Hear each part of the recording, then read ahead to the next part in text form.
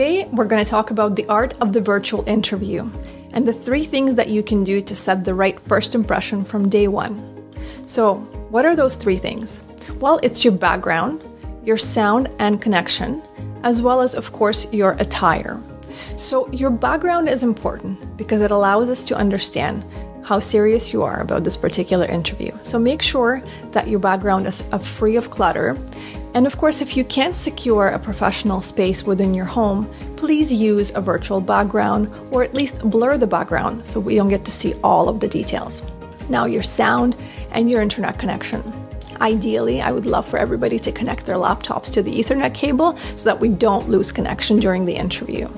Also, if you could put your phone on Do Not Disturb, that would be amazing because we get a lot of notifications during any sort of meetings and they're a little bit disrupting. The last but not least, of course, is your attire. So make sure you're wearing the same clothes that you would be wearing to a physical interview to a virtual interview instead.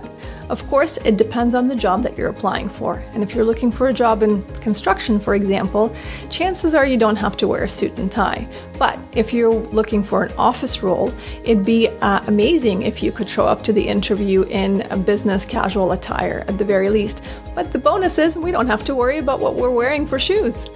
So, hopefully, that was helpful. Have a wonderful day. Thank you.